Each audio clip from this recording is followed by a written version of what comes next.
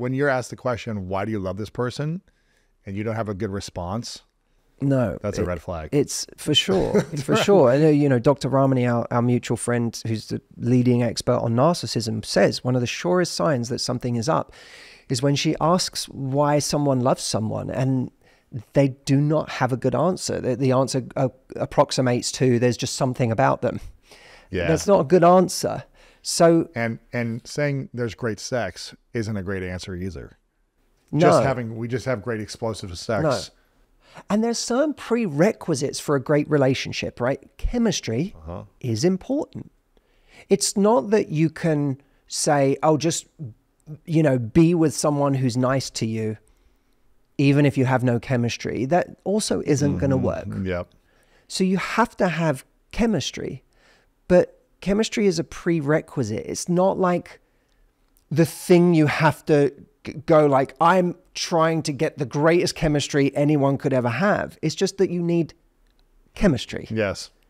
Uh, There's a moment in the book where I say don't comparison shop for chemistry Mm, right. right? Instead, it see it as a beautiful thing. If you found someone who's an incredible teammate, who's all of these things you really want, values that you uh, that are important to you, and there's chemistry, that's an amazing thing. So, am I coming from ego or am I coming from a place of what actually makes me happy? Is a huge, huge, huge decision, and Yeah. sometimes we don't learn that until we have spent time with people that are less familiar to us but make mm-hmm. us feel really good Yeah. you know your ego might flare up in some way or another and or you might be like oh but do i still want do i want to like do this? Maybe i could have someone with this or that or whatever. Like it, there's a lot of that in the world and it creates massive confusion. Instead of just going this feels unfamiliar but there's something about this that feels really good. Hmm I love your definition of like when you should when you know that you're choosing the right person is someone who makes you feel most at home. I love that idea. And Martha, my fiance, she's always like, "Man, I wish I would have met you like 10 years ago. We would have had so much fun like over these last 10, 15 years being together." And I keep saying to her, you know, I wouldn't have been ready for you. Because if I would have met you 10 years ago, I would have looked at you and I would have not have had the same level of I don't know if you would call it attraction or just like curiosity to be in a relationship because my nervous system wasn't built for you. It wasn't built to feel safe and accepted for who I was. It wasn't. I still needed to learn how to regulate my nervous system, heal, reflect, and, and really go through a growth period emotionally um, and physically, really, to feel familiar with safety and and, and, and, and feel peace, and- peace and right feel familiar with peace because I didn't have the familiar. I didn't understand that that was safe. No, and when you're in that, I, I think for a lot of people, especially those who are playing the field and experiencing different people and whatever, there is a kind of being single is this dopaminogenic cycle. Yes. And it and it's hard to get off that cycle because you're kind of wired you're wired for it now.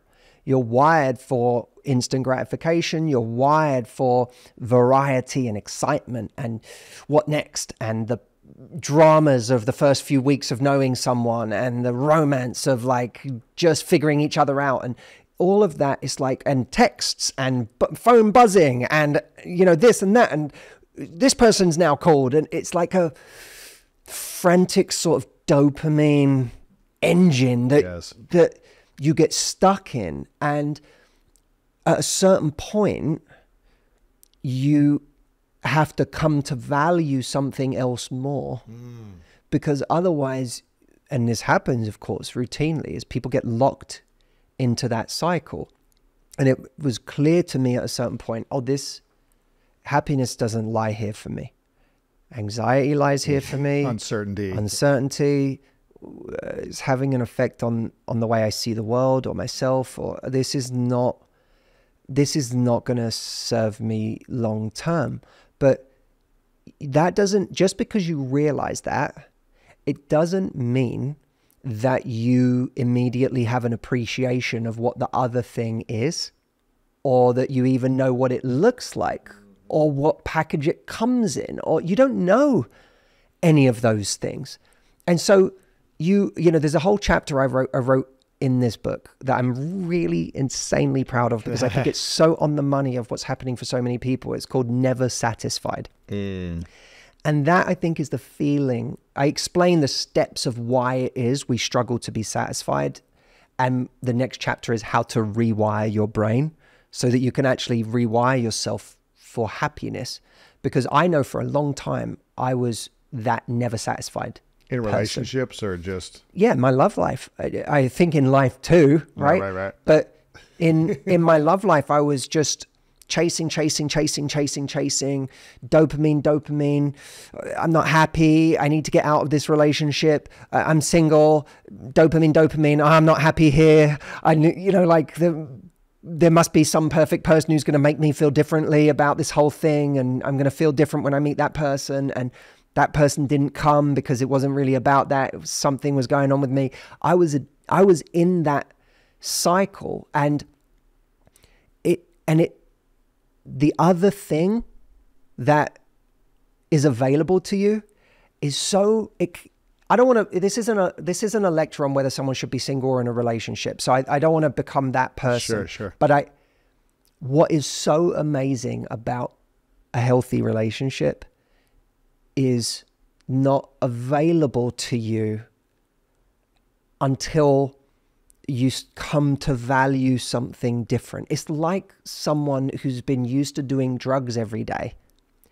And then the day that you that you get them to quit drugs, you sit them outside their house in front of a beautiful field and you say appreciate the sunset. yeah. There's no dopamine rush anymore. A sunset is a mate Like a, a sunset is an awe-inspiring, yes. unbelievable thing. It's something that is mind-blowing. Why do we all go on holiday and everyone at the same time goes out onto the beach and watches the sunset? Because there's something stunning and magical about a sunset. But for the person who's been doing drugs every day, you, that's not the day you can appreciate a sunset. you you are coming out of all of those feelings that you've been addicted to, and all of that like instant gratification, dopamine.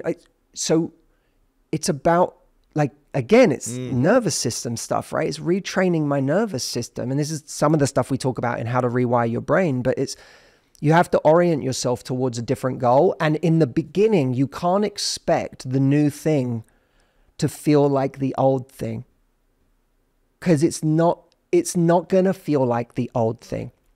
But the more you lean into the new thing, it you develop an appreciation for how much better it actually feels. And that's like a kind of stunning and eye-opening realization um, and I'm, I feel really passionate about this because I see a lot of really unhappy people. I was one of them, by the way, who are stuck in those cycles, and and I think there's a lot of, I think there's a lot of people who get stuck in optimization cycles in their love life, where it's like, especially Type A people, not everyone does, but a lot of people do, where it's like, I'm trying to find the perfect thing and I'm trying to, and, and, and if someone's missing this thing, I'm going to optimize and go for another person who's like got all the good things about this person, but and also that thing. And it's like, people don't work like that. You exchange one basket basket of ingredients for another basket of ingredients, and you'll get new good stuff and new bad stuff and challenging stuff. And it, you, I'm, I'm a huge believer. I think the um, settling is a word that has has a really unfairly negative connotation, and it shouldn't. Is something amazing about that word? I- you can change the meaning of of that depending on the word that goes after it. So if you say, if you tell someone you have to settle for something, that feels immediately negative, right? I It's like fe- settling down. yeah, because I, I feel like I'm being shortchanged. Uh-huh. But if you say settling on something, Hmm. that changes it because you, Lewis, settled on a particular business and brand. Mm, yes. You you're such a capable person. You could have done a hundred different things in this lifetime and you would have been a success at them. Right. So how the hell do you decide which one you should do? You found one that scratched the itch in a bunch of different ways. It allowed you to be creative. It allowed you to broadcast, which is something you're really good at. It allowed you to connect, which is something you're really good at. It allowed you mm-hmm. to, you know, harness all of these relationships, which is something you're really great at is relationships. It allowed you to put to work your strategy mind. It allowed you to be competitive, which is something that's in your bones. And and so it this business it ticked a lot of boxes for Yeah. you. But it's not the only business that would have ticked boxes Sure, for you. sure. There, there are other things you could have done that would have ticked boxes, but you settled on greatness. Yes. And you said, I'm going to go all in on this and I'm going to keep going on this. And the thing that has made what you do so great and what you have done is extraordinary. What you've built, the, the audience you've built, the platforms you've built, the body of work you've built, it's extraordinary. But it's not extraordinary because you found an extraordinary thing. You didn't find the word greatness and and like you know you just went i've got the b-" if you'd have said to me like 15 years ago we didn't know each other then but when you started if you'd have said to me matt i've got the greatest idea.